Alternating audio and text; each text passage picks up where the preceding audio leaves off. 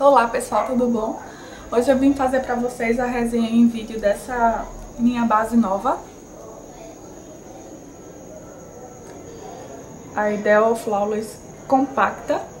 Que essa é nova, mas eu já uso ela há um tempo. Que eu tenho, que eu tenho essa na cor bege claro.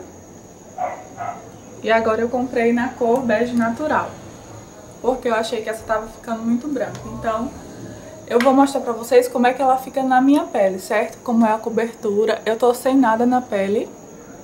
Eu tô de cara lavada. Ó, mostra bem. Meus poros aqui todos abertos, horrorosos. Marquinha de espinha. Eu vou mostrar pra vocês como é a cobertura dessa base, certo? Deixa eu tirar do zoom. Vamos aplicar. Eu vou usar a nova, tá aqui, intacta. Vou usar a esponjinha que vem nela aqui embaixo, ó, tem a esponjinha. Então eu vou usar com a esponjinha mesmo pra vocês verem como é que fica essa aplicação, certo? Então vamos lá.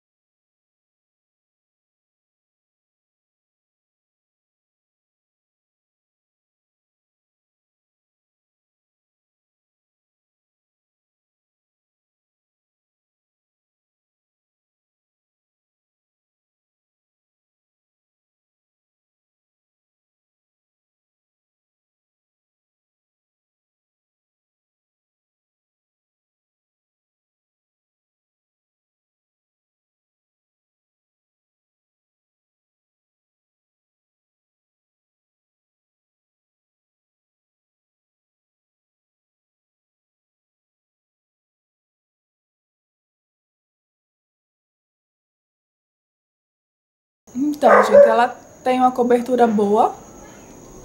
Você também pode ir construindo camadas se você quiser uma cobertura maior. Eu acho que vocês estão ouvindo o cachorro do meu vizinho latindo. Paciência. Então, é, eu gosto muito dessa base. Eu acho que ela, ela dá um, um uma boa amenizada assim, no, na vermelhidão da minha pele e e olha que eu tenho uma pele oleosa. Ela tem a função de base, pó e corretivo, mas pra mim eu não dispenso pó. Eu acho ela bem cremosa. Quem tem pele seca deve adorar essa base. Eu super recomendo, se você tem a pele seca, você vai gostar mais do que quem tem pele oleosa. Mas eu tenho a pele oleosa, não tenho problema nenhum em passar ela. Só aplico um pó por cima e eu adoro. Eu acho super prática pra levar na bolsa né? Assim, você coloca a esponjinha aqui dentro. Leva quando você tá com pressa, não deu tempo de se arrumar em casa, leva na bolsa e passa onde você tiver. Dá certo. Então ela é super fácil de espalhar. Deixa um acabamento, deixa eu dar. Deixa um acabamento assim, meio com glow, tá vendo? Não é oleoso, ela não é pegajosa, ela fica bem hidratada, ela hidrata bem a pele. Eu gosto. Aqui eu só aplico um pó e termino minha maquiagem. Já tá tudo pronto, tudo ok, certo? Então era essa base que eu queria mostrar pra vocês, que eu gosto muito dela. E vou ficar intercalando. Essa cor ficou boa pra mim. Essa luz eu não sei se tá muito forte. E aqui eu tô gravando de novo na cozinha, só que eu virei pra cá pra vocês não ficarem vendo meu armário. É, eu acho que ficou bom no meu tom de pele, melhor do que a outra. Essa aqui tava ficando muito branco. Mas aí também não vou deixar de usar, né? Eu vou usar essa aqui com um pozinho mais escuro. Que também dá certo. É uma dica também, viu? Se você comprou uma base um tom abaixo, compre um pó um tom acima e use.